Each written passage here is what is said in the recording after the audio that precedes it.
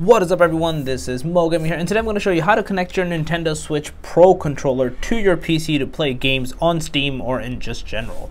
So let's get right into this. So if you're wondering like, hey, how do I connect my Switch controllers? It's so easy to do with like Xbox or other controllers. Like what do I need to do? How do I need to do this? So it's actually fairly simple. First, you obviously take your Nintendo Switch controller and you just take any USB-C cable plug it in your Switch controller, and plug the USB port into your computer. So basically plug the USB port into a USB port into your computer, and then that's it. You're gonna see like on the right hand side of your PC, it's going to say, oh, installing new software or device, and then it'll say device is ready to use on a Windows, whatever.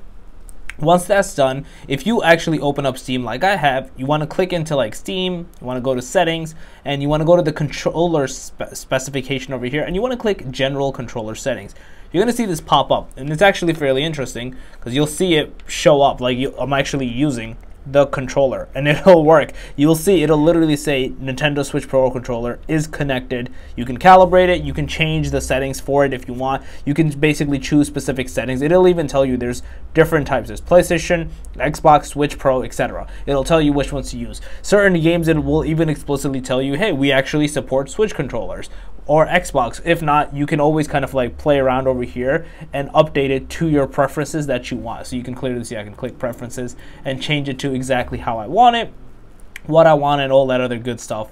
And yeah, basically. But yeah, with this, you can easily see I have these uh, functionalities. I can easily control Steam from here. When I get into a game, I can easily base, I can just basically play the game from here. I, I, I can use the Switch controller and play whatever games I want. Uh, very similarly on your PC itself, there's certain emulators and whatnot. If you want to play a game from there, same thing. Either you go to settings and it, it will if if it allows you to use anything outside of a keyboard, it will let you essentially use whatever controller you have to play those games.